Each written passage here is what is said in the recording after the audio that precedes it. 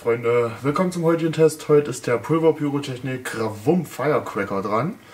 Äh, wir haben hier fünf Stück in der Packung. Online bekommt ihr diese Packung schon für 3,50 Euro. Ich habe leider, leider tief in die Tasche gegriffen für 10 Euro das Paket. Ja, das ist dann Lehrgeld und da weiß man, wo man demnächst dann nicht mehr kaufen wird. Ähm, ja, war Silvester, so ein Pop-Up-Shop in, in einer Postfiliale, sagen wir es mal so. Äh, ja, wie dem auch sei, wir haben hier, wie gesagt, von Pulverpyrotechnik äh, ein paar Böller. Wir haben hier eine schöne Pappschachtel, auch schönes Design in der Kategorie F2 als Knallkörper mit einer NEM von 30 Gramm auf 5 Stück. Wir schauen auch gleich mal rein.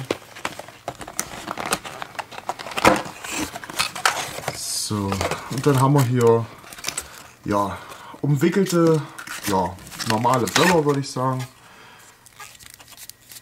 Äh, Steinhart mit einer NEM, wie gesagt, von 6 Gramm, also 30 Gramm sind natürlich dann 6 Gramm.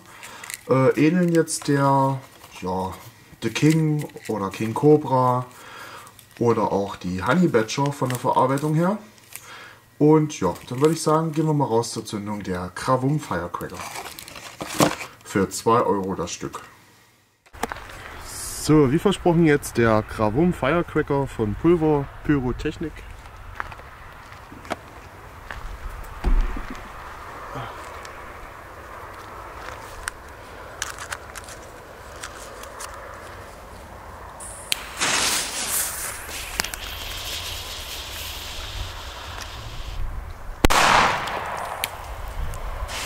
Ja, sehr gut von der Lautstärke.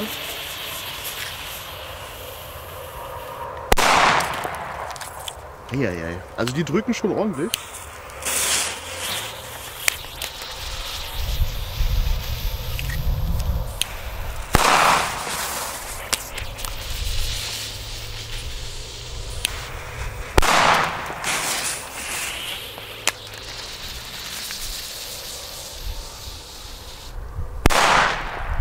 Ja.